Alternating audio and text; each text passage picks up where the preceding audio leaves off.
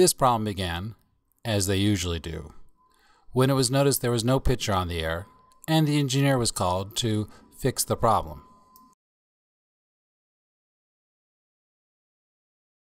Upon arrival, it was found that the transmitter was in collector cooling mode, which is a safe mode the transmitter goes to when it's been off for a period of time.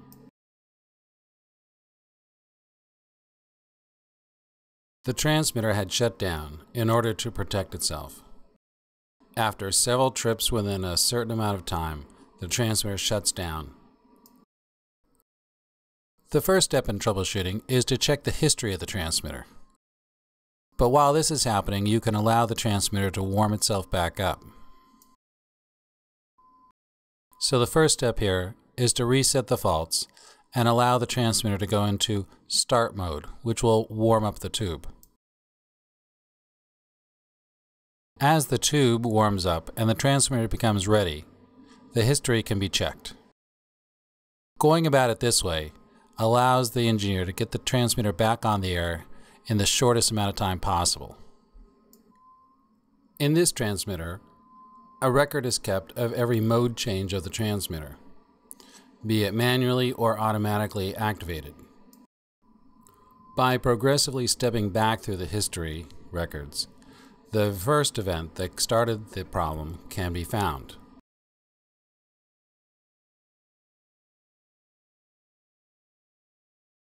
And here's the original problem a primary fault on the exciter output relay for the RF drive.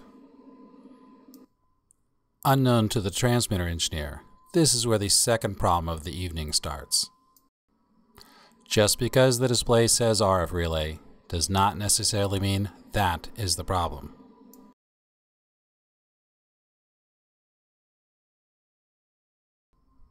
Stepping through the history display you can see where the transmitter had tried to restart itself three times, but each time it was taken off the air due to the fault. This is normal in transmitters and is called the auto restart function.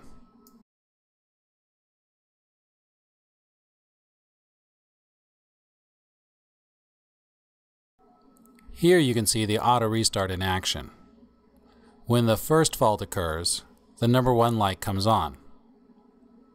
Now the transmitter attempts to restart itself, but when the same fault is encountered, the second fault light comes on. The transmitter has tried to restart itself again, but encounters a fault again, and therefore all three attempts have failed. Now the system disables the auto restart function.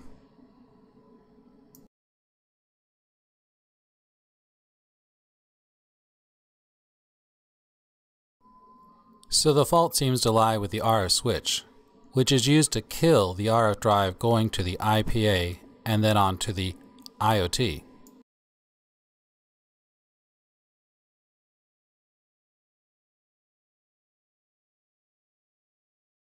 Here is the switch itself, mounted at the back of the transmitter next to the IPA amplifiers.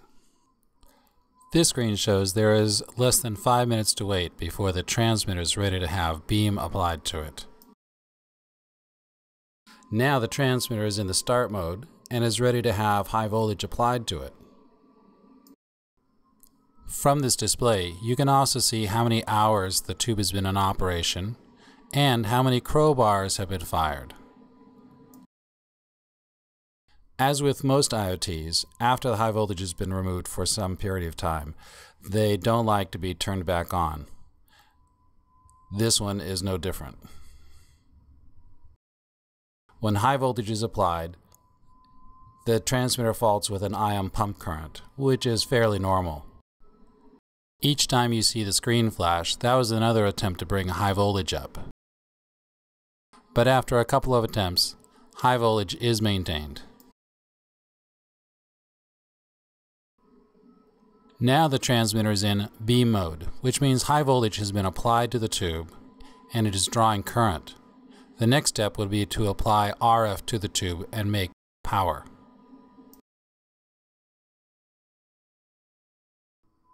Here, the problem can be seen. When attempting to go to the RF mode, The HPA ready light starts flashing red, indicating it is not ready and there is a fault. This brings us back to the RF relay, which we'll now remove in order to test it. The relay is mounted next to the IPA amplifiers and is held in place with two screws, which must be removed first.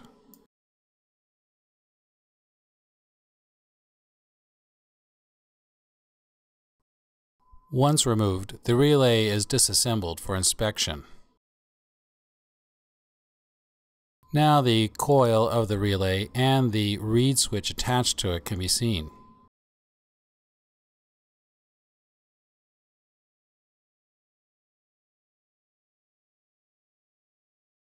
Using a bench power supply, the relay can be tested to see that it functions correctly.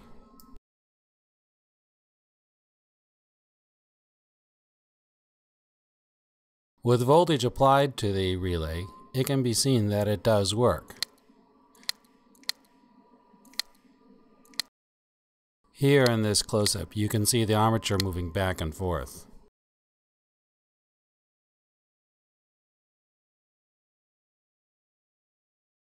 After putting the relay back together, there is one more test that can be performed before mounting it back in the transmitter.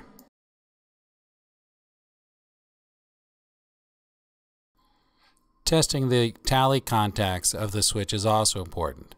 And as you can see here, the reed switch is working and shorting out the contacts whenever power is applied to the switch.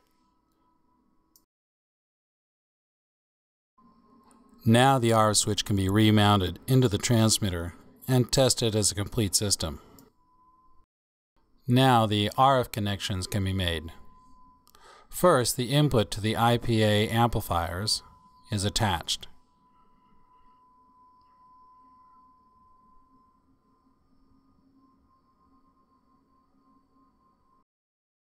Next is the RF output from the exciter.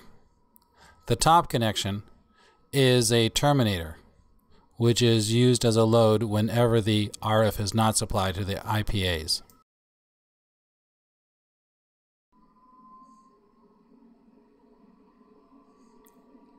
After it's been reinstalled, the transmitter is tested once again. Unfortunately, the same fault occurs.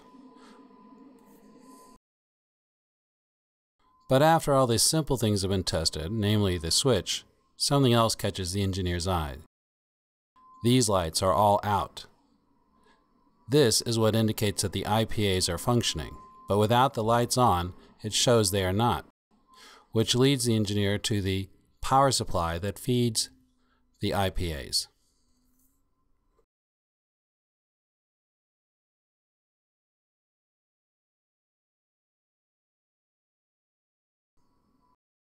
The IPA power supply is fed from a circuit breaker, and the first step is to check that. But it is found to be in the on position and not tripped. Checking the power supply itself. It is found that it is supplied with the 208 three-phase power. Therefore, the power supply itself is at fault and needs to be changed.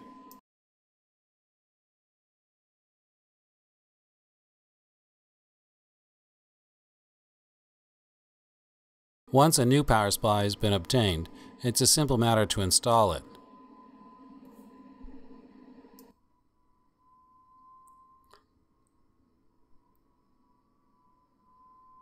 Now, the indicator lights are all on, showing that the power supply is working along with all the IPAs. And RF drive mode is achieved at full power. Although the transmitter engineer was able to repair the problem, he was misled by the technology meant to help him. Back in the day of idiot lights on the front of transmitters, this never would have happened. But today, if you put too much trust in the technology, you can be misled.